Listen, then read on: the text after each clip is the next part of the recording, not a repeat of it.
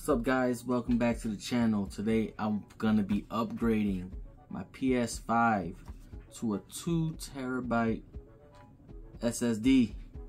Got it on sale. It was on sale at Best Buy for like $119.99. Um, but I had some gift cards and stuff, so I paid like hardly anything for it. But that's a good deal for a 2 terabyte SSD. Um, the brand is called Crucial. Uh, I've heard of it before, but I'm not sure if it's good or not. But for 120 for 2 terabyte, I desperately need some more memory. And then this was also thrown in. This is a an Insignia heat sink. Heat sink. Um, it should fit this. It came free when I bought this with Best Buy, so that made the deal even more better. Um, so we're gonna see how this goes. I saw a couple videos online, but I didn't see any with the Insignia heatsink. So let's just open up this real quick first. So this is gonna be like my second time taking my PS5 apart, besides putting these custom uh, uh, dark plates.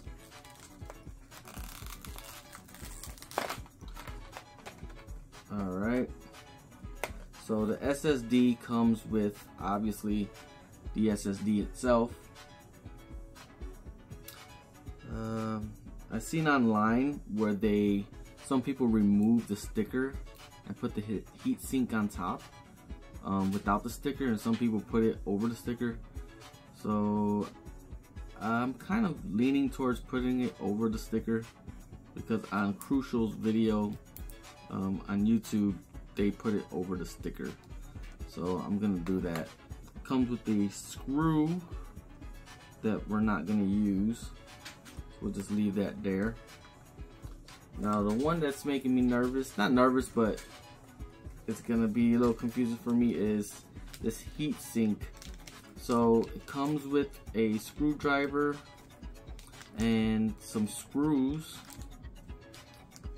and obviously comes with the heat sink itself which is a two piece heat sink.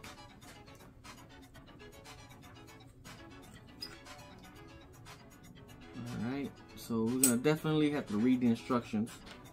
Um, I don't need these instructions for right now. Put that to the side. I'm not sure if I'm gonna need it. I, I know for sure I'm gonna need these uh these pads here.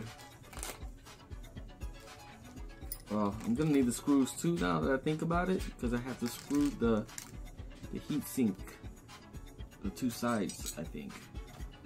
So this is my first time installing anything like a heat sink on an NVMe SSD. Remove the protective film from one of the thermal pads and place the pad inside the heat sink. Okay, we're gonna do this. All right, so we got it in there. Remove the protective film from the other thermal pad, then place the pad on top of the M.2 SSD. Alright, well, let's see. Hopefully that works. Then place the pad on top of the M.2 SSD. Alright. Place your M.2 SSD on the center in the heat sink by aligning the back of the SSD with the back of the heat sink. Alright, so the side with the with the holes that are elongated go this way and the SSD sticks out of there. Put it like this. Place the top cover on the M.2 SSD. Like this. Line up the holes. Okay, I'm just lining up the holes on top. This is how it's looking for me. Now it says, use the included screwdriver and four small screws to secure both sides of your heatsink. Install your M.2 SSD pin side first in your, okay, so let's, let's put it in first. So let's just screw them in.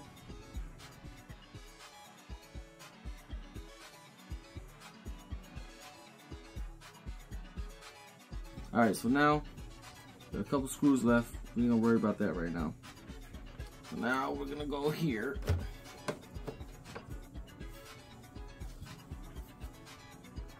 Right. If you don't know to take off your thing, I hate taking it off, so I already had it taken off. So here's the compartment. I'm just gonna unscrew it.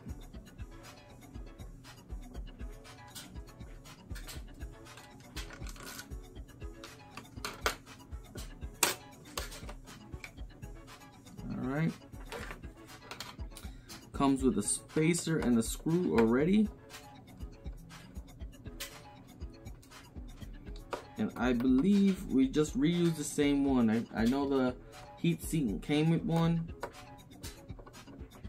And also the SSD.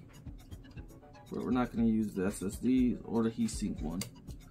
Alright, so we moved the, the spacer down to the 80, 80 position.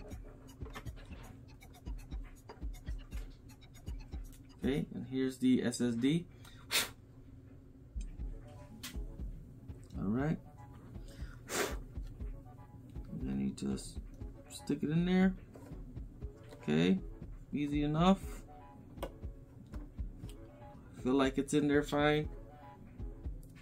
Make sure when you put your SSD in that you're not rubbing your SSD on the bottom and sliding it in. You should just hover it a little bit above it, above the green part. So that way it just slides right into the slot. Okay, so that's screwed in. Looks like it's lined up, fits perfectly. Now we're gonna go right back here. Slide this bad boy in there. Put this screw back in. Close this boy up.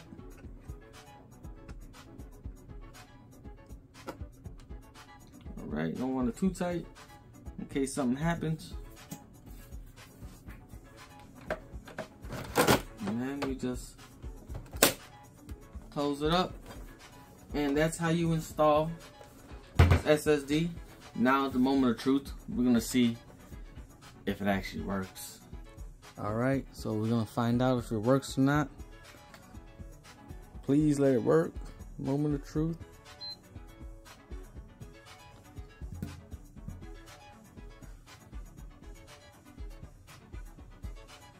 See. We got power. It's on the screen. That's so far so good. My luck. Oh, it says zoom in on this. It says to use your M.2 SSD, you need to format it. When you format your M.2 SSD, all data on it will be de deleted. All right, we're gonna format it. Let's format this bad boy.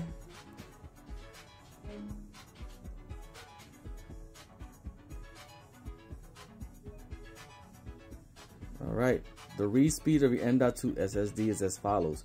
If you experience problems while playing the game installed in the M.2 SSD storage, try installing it to console storage. 5,658 megabits read speed.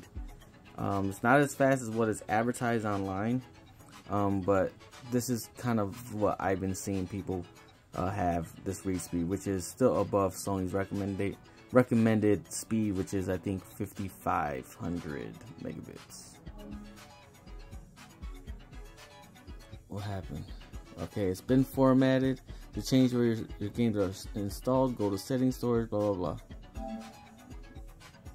Alright, so we're gonna see right now how much storage we have. Let's see. Storage. Alright. M.2. Two terabytes, my guy. Two terabytes. Let's go. Finally. So this is what it comes up as. I don't know if you guys care. But finally, I get some storage on my PlayStation. Oh my god.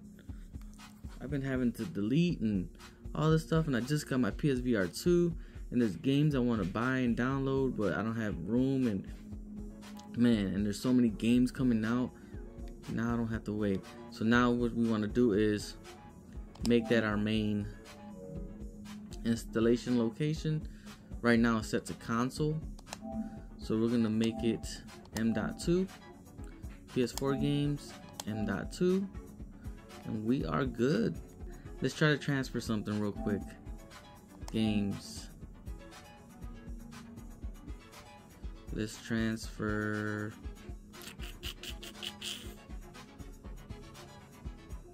Let's transfer something I know I'm gonna play a lot. Let's transfer Gran Turismo. That's 122 gigs. That's the biggest game I have right now select items to move. Boom. Alright I want to move that. I'm to be moved. Yes I know. Let's go. It says 18 minutes 76 seconds 85 seconds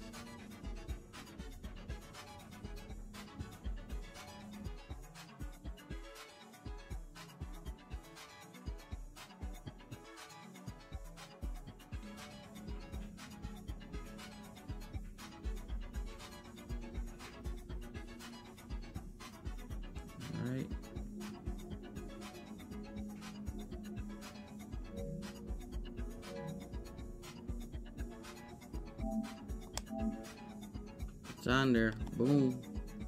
Let's go.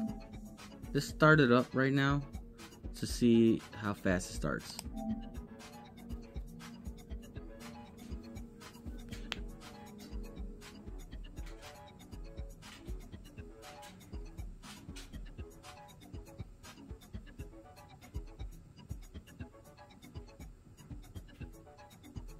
Seems pretty much normal to me.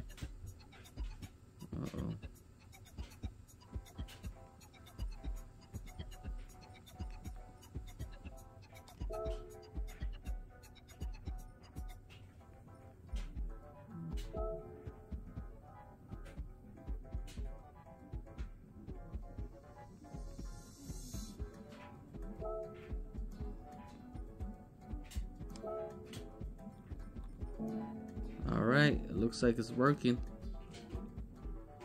Go home. All right. Well, that's the video, guys. Everything's working fine so far.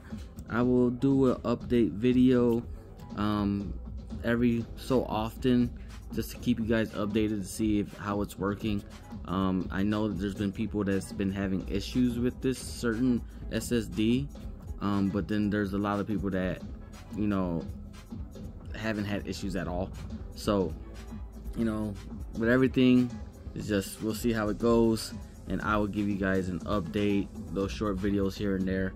Um, but I pray that it works good for a long time, and that it doesn't crash on me. Um, but thanks for watching. I appreciate you guys, and I will see you guys in the next video. Peace out.